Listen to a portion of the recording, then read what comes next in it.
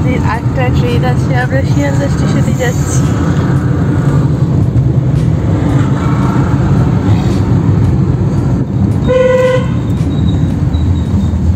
আমরা শিয়ালদা স্টেশন থেকে কৃষ্ণনগর লোকাল ধরে নিয়েছি। আটটার সময় আমাদের ট্রেন ছিল। আমরা ট্রেনে বসে পড়েছি, ট্রেন মোটামুটি ফাঁকাই ছিল। আমরা কৃষ্ণনগরে মেনলি দেখতে যাচ্ছি কৃষ্ণনগরে জগদ্ধাত্রী পুজো। যেটি প্রবর্তন করেছিলেন মহারাজ কৃষ্ণচন্দ্র।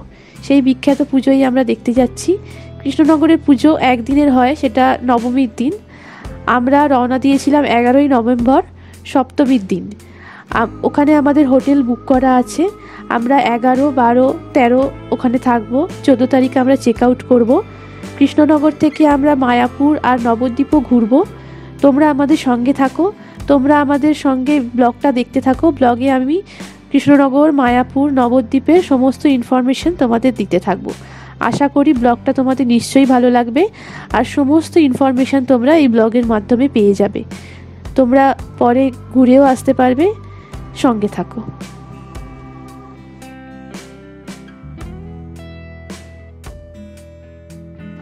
যাতায়াতের দৃশ্য খুবই মনোরম ছিল। চারিদিকে গাছ গাছালি, সুন্দর সবুজে ভরা ছিল। খুবই ভালো লাগছিল দৃশ্য দেখতে দেখতে যাচ্ছিলাম। সুন্দর লাগছিল দেখতে।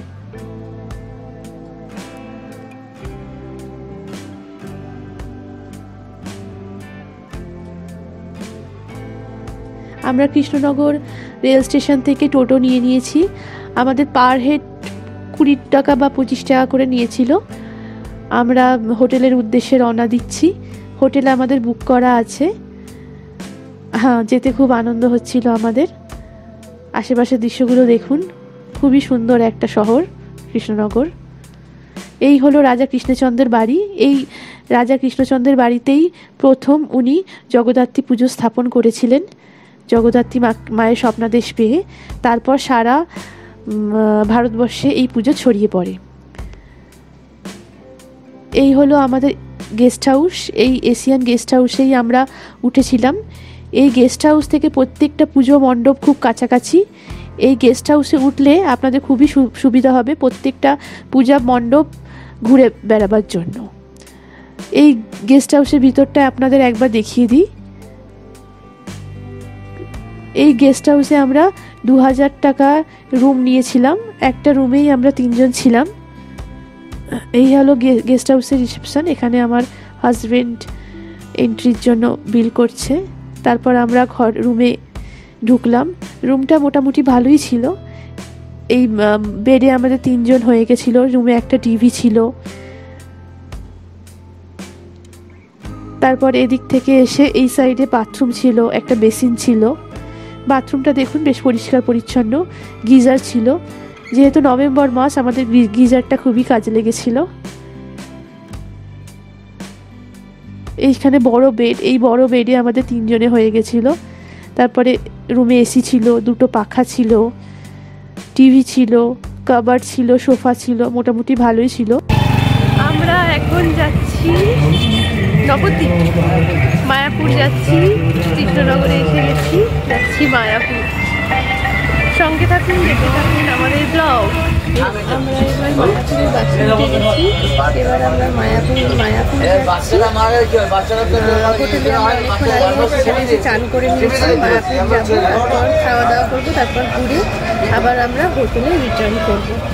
মায়াপুর আমরা এসে গেছি, এটা হলো মায়াপুরের চন্দ্রোদয় মন্দির। এই মন্দির দু হাজার তেইশ সালে উদ্বোধন হবে। এটা হলো পৃথিবীর সব থেকে বৃহত্তর মন্দির। এই মন্দিরটি দু হাজার তেইশ সালে আনুমানিকভাবে মনে করা হচ্ছে যে উদ্বোধন হবে। এই মায়াপুরে চারটি ভবন আছে গদা ভবন শঙ্খ ভবন চক্র ভবন এবং পদ্ম ভবন এই চারটি ভবনে ভক্তরা এখানে এসে থাকা খাওয়ার সুব্যবস্থা আছে। মায়াপুরের নিজস্ব একটি ওয়েবসাইট আছে, সেই ওয়েবসাইট থেকে এগুলো বুক করা যায়। আমি নিচে ডিসক্রিপশন লিঙ্কে এই ওয়েবসাইটের লিঙ্কটা দিয়ে দেবো। এখানে সমস্ত সুব্যবস- ব্যবস্থা করা আছে মন্দির প্রিমিসেসের মধ্যেই। এইখানে গোবিন্দ হোটেল। এই গোবিন্দ হোটেলে হচ্ছে নিরামিষ আহার করা করানো হয় মন্দির প্রিমিসেসের মধ্যেই। আমরা এখানে খাওয়া দাওয়া করেছিলাম চলে এসেছি এখানে হোটেলের নাম হচ্ছে গোবিন্দ নিরামিষ সেই হোটেলে চলে এসেছি। আপনাদের মেনু কার্ড দেখিয়ে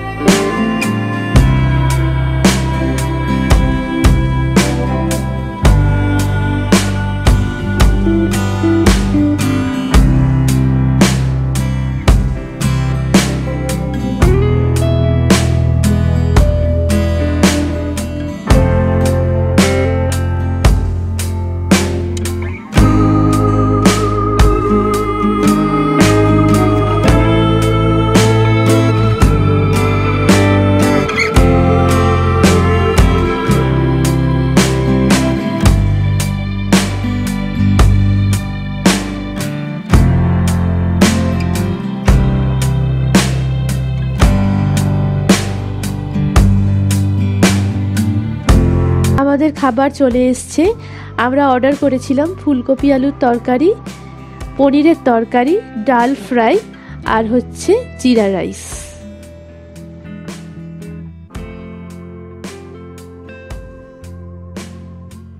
আমরা এবার খাওয়া হয়ে গেছে। এবার আশেপাশের মন্দির চত্বরটা একটু ঘুরে দেখব। মন্দির চত্বরটা খুবই বড়। একদিনে দেখা সম্ভব নয়। তাই তোমাদের কিছু কিছু দৃশ্য যেগুলো মোবাইলে ক্যাপচার করেছি সেগুলো দেখিয়ে দিলাম। সব থেকে ভালো হয় একদিন থেকে মায়াপুরটা পুরোটা ঘুরে দেখলে। আমাদের নবদ্বীপ দর্শন মায়াপুর দর্শন হয়ে গেছে। এবার আমরা নবদ্বীপে যাব। তাই আমরা সবাই নবদ্বীপের উদ্দেশ্যে রওনা দিচ্ছি এখান থেকে। আমরা মায়াপুর থেকে নবদ্বীপ ফেরিঘাটের মাধ্যমে গেছিলাম। মায়াপুর থেকে নবদ্বীপ যাতায়াতের সব থেকে সহজ উপায় হলো ফেরিঘাট। আর লঞ্চের ভাড়াও হচ্ছে খুব অল্প। এটি হচ্ছে জলঙ্গি নদী। নবদ্বীপ আর মায়াপুর হচ্ছে জলঙ্গি নদীর একদম এপার ওপার, খুবই অল্প রাস্তা। সন্ধ্যের পর আমাদের যেতে খুবই আনন্দ হচ্ছিল ফেরি, লঞ্চে করে ফেরিঘাটে।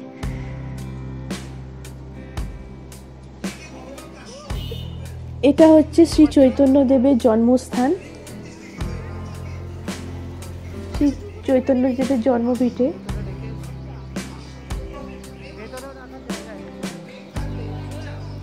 আমরা ভেতরে ঢুকছি।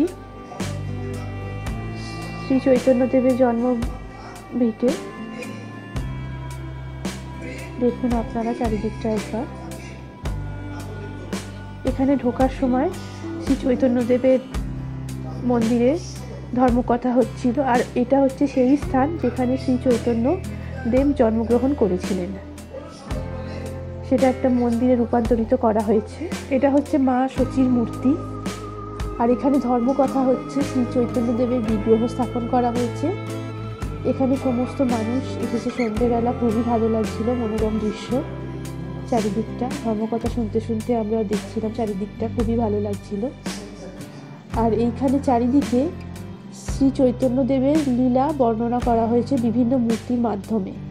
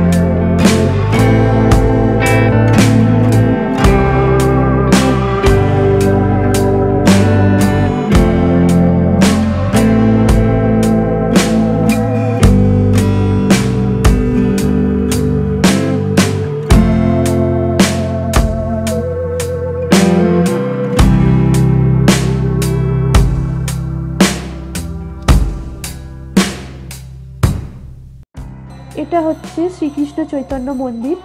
এই মন্দিরে আমরা দর্শন করেছিলাম। আমরা যখন নবদ্বীপে এন্টার করি, তখন আমরা একটা টোটো বুক করে নিই। যে টোটোওয়ালা দাদা ছিল, ওই দাদাই আমাদের সমস্ত মন্দির দেখানোর কন্ট্রাক্ট করে নিয়েছিলেন। উনি আমাদের সমস্ত মন্দির দর্শন করাচ্ছিলেন। আপনারাও নবদ্বীপে এসে কোনো টোটো এইভাবে কন্ট্রাক্ট করে নিতে পারেন, তাতে আপনাদের দেখতে খুব সুবিধা হবে। ওখানে অনেকগুলো মন্দির আছে। এটা হলো বলরাম মন্দির। এটাও একটা ওখানকার দর্শনীয় স্থান।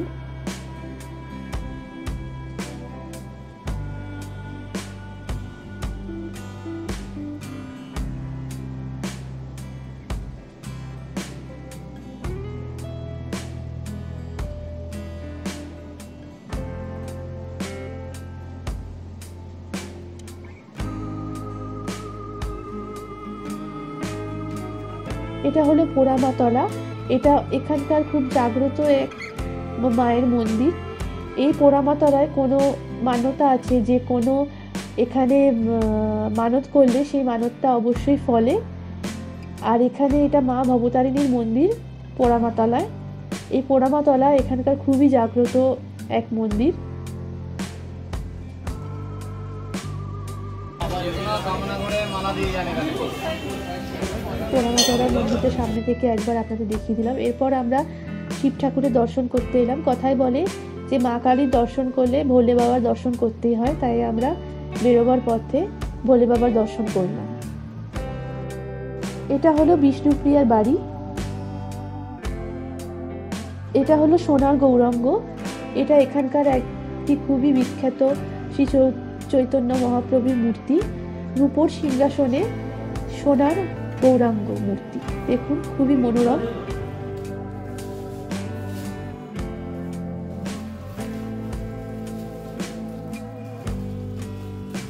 চারিদিকে শ্রী চৈতন্যদেবের সুন্দর বিগ্রহ আছে। এই মন্দিরটি শ্রী চৈতন্য মহাপ্রভুর একজন ভক্ত, প্রতাপচন্দ্র গোস্বামী নির্মাণ করেন এবং এই মূর্তিটি স্থাপন করেন। এই মন্দিরটি নবদ্বীপের অন্যান্য দর্শনীয় স্থানের মতো একটি দর্শনীয় স্থান, আর এই মন্দিরটি নবদ্বীপের বউবাজার অঞ্চলে স্থাপিত। এই মন্দিরে দশ টাকা করে পার হেড এন্ট্রি ফ্রি আর আপনারা যদি প্রসাদ নিতে চান মহাপ্রভুর, তাহলে কুড়ি টাকা দিয়ে সেই প্রসাদ আপনাদের গ্রহণ করতে হবে।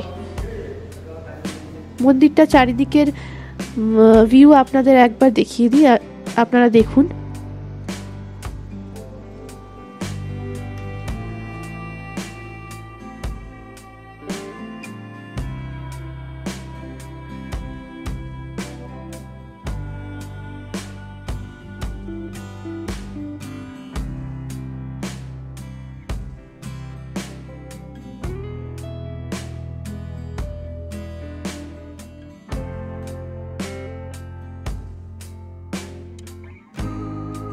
এরপর আমরা নবদ্বীপ থেকে কৃষ্ণনগর ফিরে যাচ্ছি। আমরা নবদ্বীপ থেকে কৃষ্ণনগর প্রথমে ফেরিঘাটে নৌকা করে কৃষ্ণনগর পৌঁছাই। তারপরে রাত হয়ে যাওয়ার জন্য আমরা কোনো বাস পাইনি কৃষ্ণনগর শহরে ফেরার। তারপর আমরা টোটো করেছিলাম শহরে ফেরার জন্য। টোটো বুক করে আমরা কৃষ্ণনগর শহরে ফিরেছিলাম।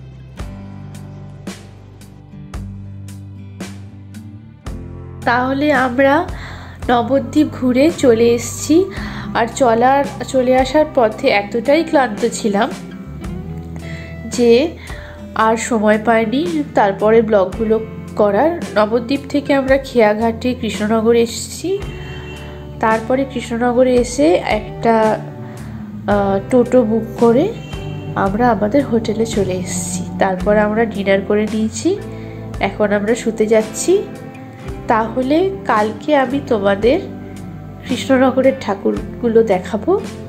আমার সাথে থেকো আর আমার ব্লগটা দেখো। আপাতত গুড নাইট